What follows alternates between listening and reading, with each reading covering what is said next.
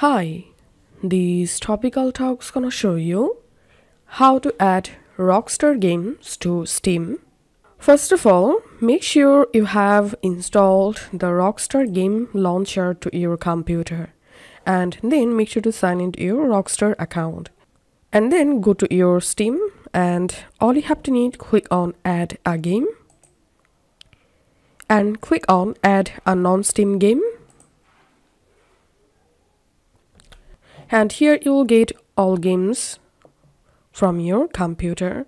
All you have to need just search for rockstar game launcher and then select it. And then click on add selected programs. And then go to library. And here you will see your rockstar game launcher has been added. Now click on it.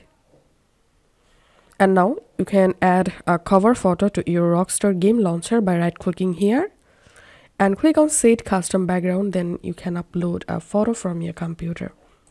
And you can uh, play your rockstar game by clicking on play. So this is how we can do it. If this video helped you out please leave a like and leave a comment down below.